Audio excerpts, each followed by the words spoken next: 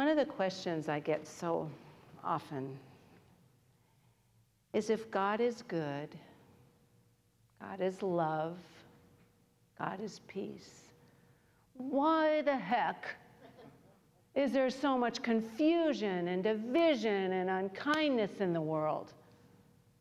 Well, God left that to us.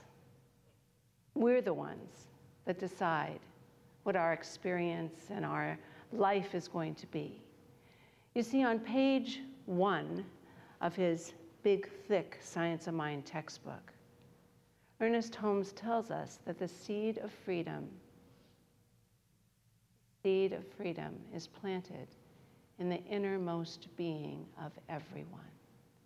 And just like the prodigal son, who, if you remember in that parable from Jesus, he took all his wealth and all his inheritance and went and squandered it on really high living, trying to find goodness and fun and joy in the material world until he lost everything, ended up living with the pigs, and remembered he had to go to his father's house where everything, all the goodness and peace and joy, everything he needed was there.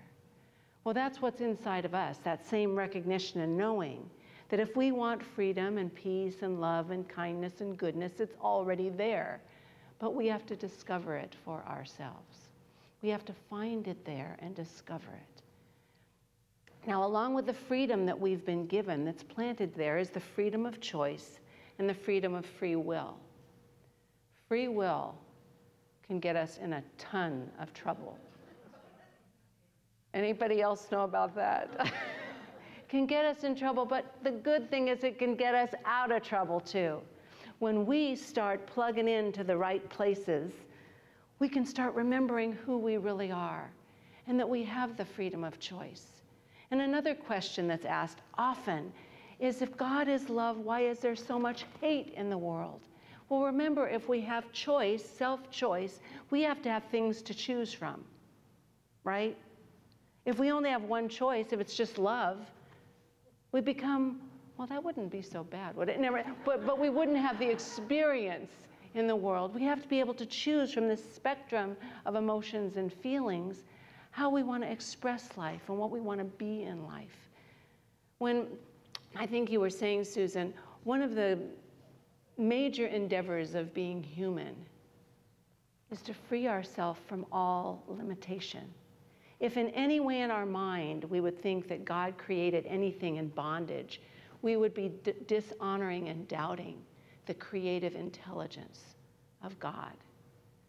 You know, my dear friend from the 13th century, Rumi, a little piece of his poem, which I'll re- hopefully read the whole thing if I remember, but a bigger piece of it, says, Why do you stay in prison? Any of us when the door is so wide open. It's open for us. We remain captive to our negative thinking. We become imprisoned by limitations we've put on ourselves.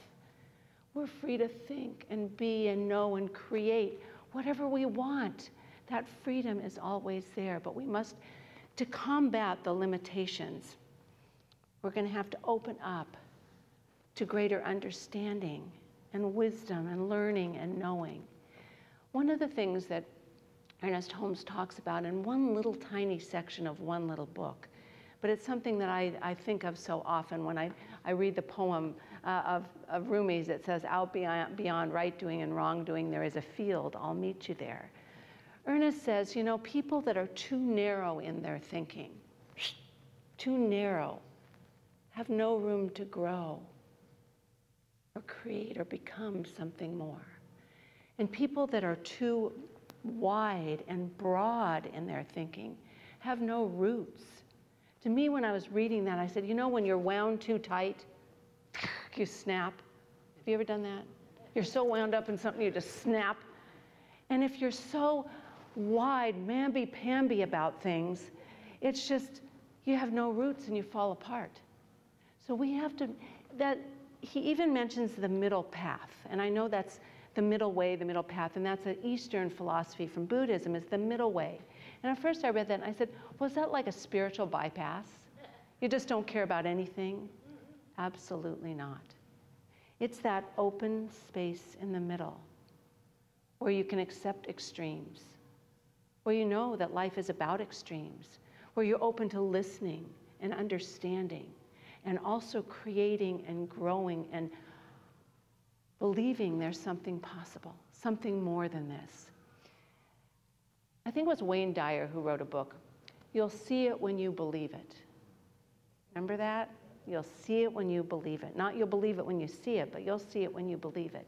It was Jesus who really introduced us to a whole new way of thinking.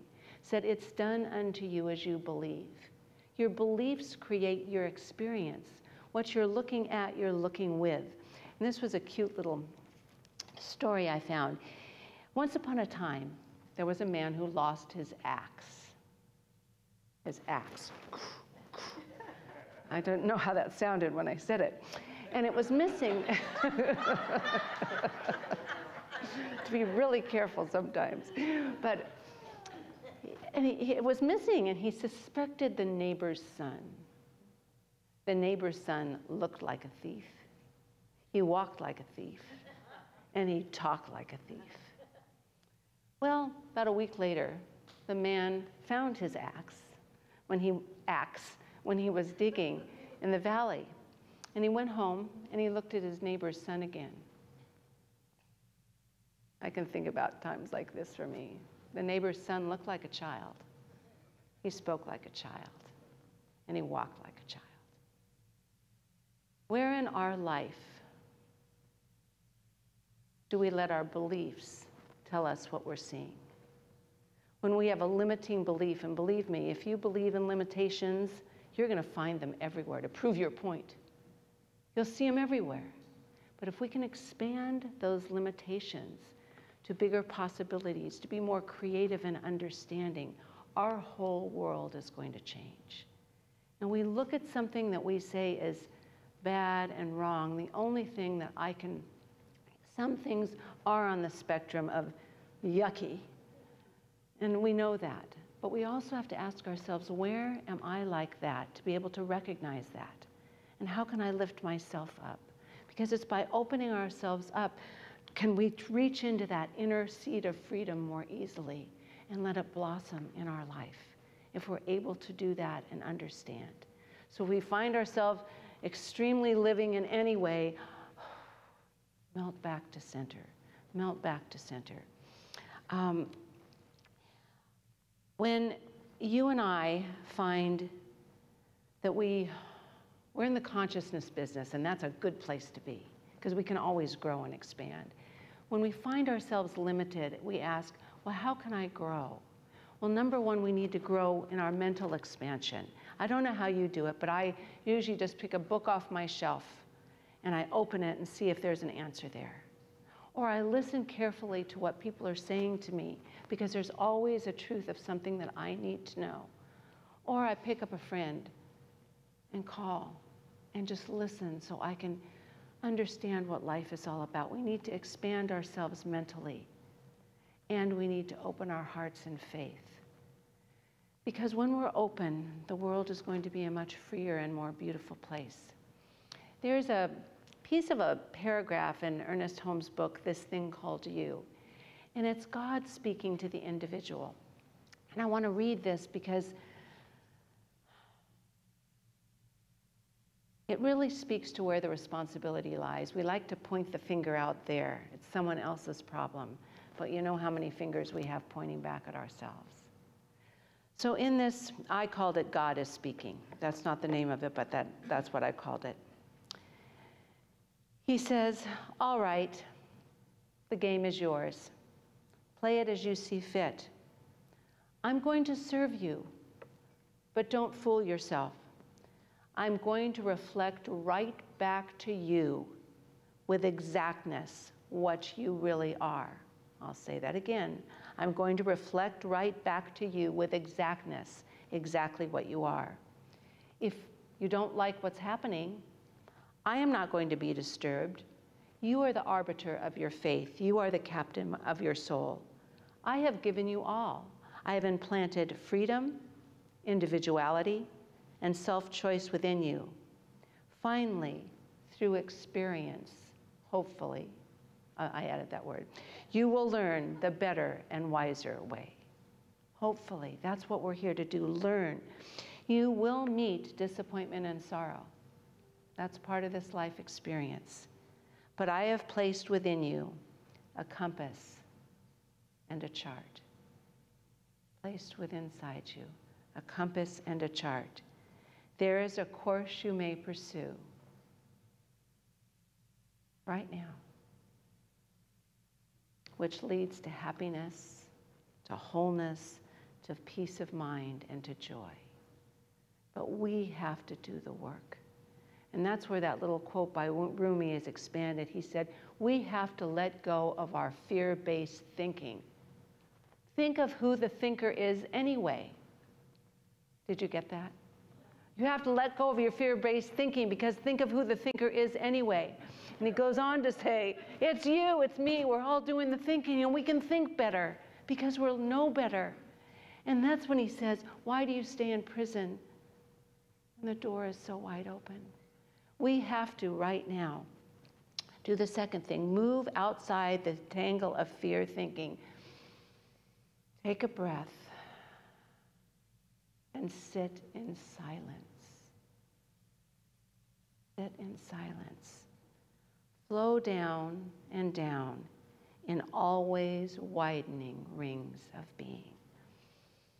Let's take a breath on that one and just untangle our legs and our arms and open our mind with the mental expansion of knowing that life is good, that we are free, and open our hearts by letting go of the entangled feelings through forgiveness and understanding and faith that life is good no matter what we are seeing in the moment, that there's a goodness waiting to be expressed and revealed, that every place we are, no matter what, the power, the presence, the goodness, the peace, the freedom, the love of God is in this and every moment. And it's in this moment when we open ourselves, when we free ourselves and expand ourselves, that we understand we are here to be kind no matter what's going on around us, to share love no matter what we're seeing, to create no matter what it is, because the creative process is unlimited, and we are here to grow and expand and become and have fun in living. We know that, we see it, we sense it, we fill our body with that right here and right now, as in this moment. We know no matter what the outer experience is, there's a freedom in our mind, right here and now, in our heart, right here and now. The freedom the love, to care, to know, and to be that expression of goodness, of light, of caring, of oneness, of unity, right here, right now, and always. And so it is. I believe in love. I believe in light. I believe in freedom. I believe in goodness, and I believe in all of us right here together. Thank you. And so it is.